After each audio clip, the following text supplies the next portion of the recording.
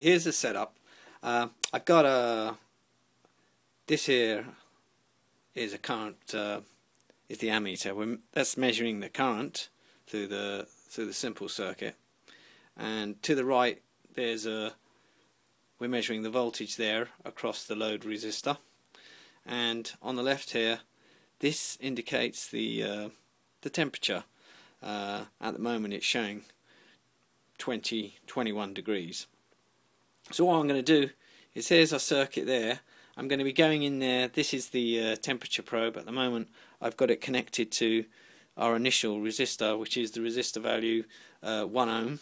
So I've got it connected. It's touching the 1 ohm. Probably won't see it with this resolution on this camera but uh, this temperature probe here is connected with this uh, uh, simple connector against the resistor there and uh, then what I'm going to do is uh, is throw on the the power, um, and I'm going to be running this at 8 volts, uh, so it's going to be a fixed 8 volts through, throughout. And uh, then I tabulate the the voltage here, uh, the temperature, and the current for each one of these resistors. So I'll I'll work through them now, and uh, that's my temperature probe going off. So I'll just reset that at the moment. So now I'll switch on the power and uh, start taking results.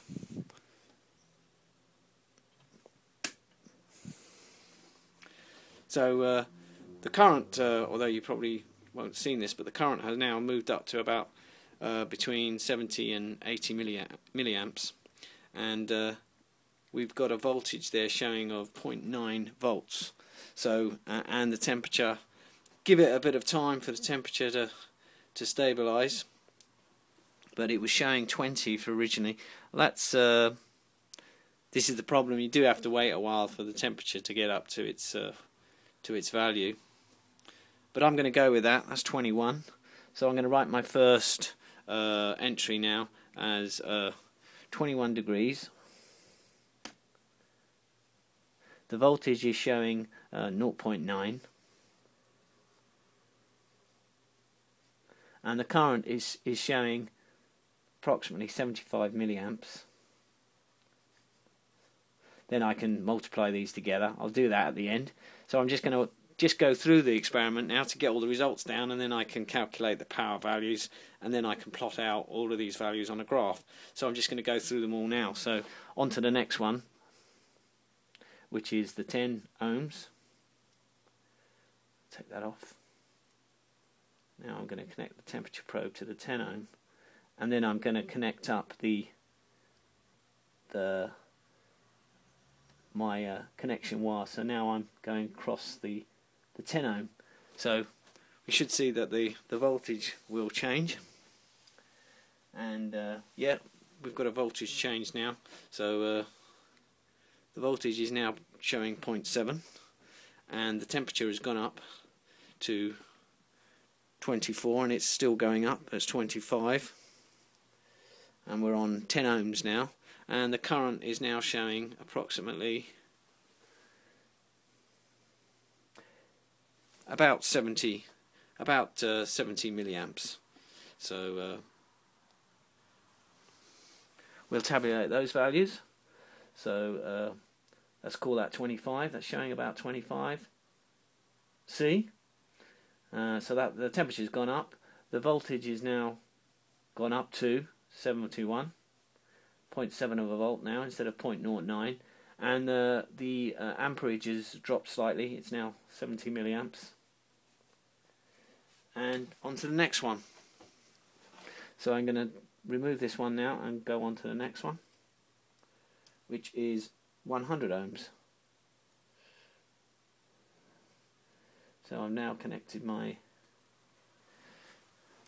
my probe and uh, going to connect so that the current's flowing through this next one now.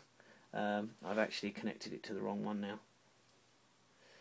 We're going to connect this to the 100. I connected it to the 270, so that was incorrect. I'll put that back now. So now we're uh, measuring across the 100 ohm resistor, and we can see that the voltage has changed quite dramatically on that one. Uh, the voltage is now showing 3. 3.87.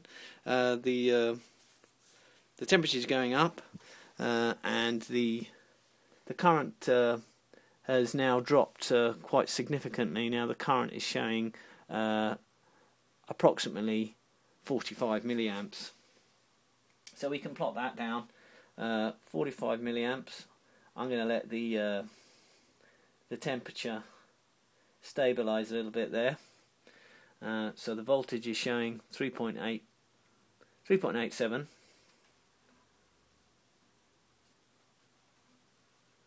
and the uh, the temperature now is showing 34 degrees.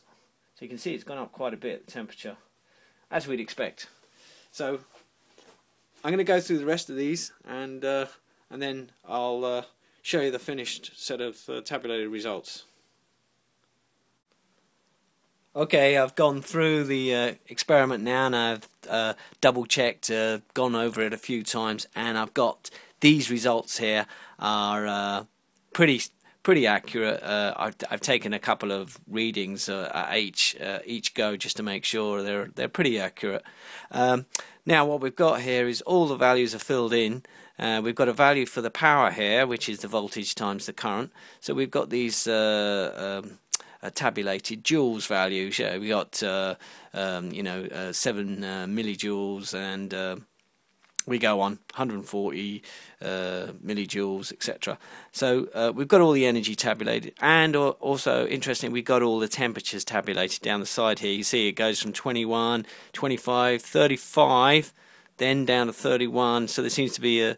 Uh, it's quite clear that there's a, a, sp a, spike there at 35 degrees, and then it drops off back down to 20 again.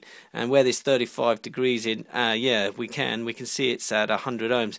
100 ohms is actually what the source resistance is. So um, this is actually showing here, even in the you can see this even in the tabulated values, that the uh, the maximum energy, in other words, that's the maximum heat here that's being released by this re uh, resistor, which is obviously the maximum uh, energy. And also, if we see the energy value here, that's 0.17 joules, and uh, from there it goes down uh, there's 0.05 and when we go above uh, 100 ohms we see it's dropped again 0.14 so that's the maximum energy and obviously the maximum energy uh, is is being uh, picked up by this heat. Uh, the, the resistance is uh, converting that energy to heat and that's why we've got 35 degrees C. So so in this tabulated set of results, we can't really easily see the correspondence between the energy and the temperature. So what I've done is I've uh, plotted these on a graph and scaled these so that we can see how they relate, to see what the profiles look like. So I'll show you that now. Okay, I just get that in so you can see the plot. Um, let's go back a bit. You can see all of this plot. Okay. Right, so I'm just going to uh, move the camera a little bit so we can get a proper view of that, of the, of the uh, data there.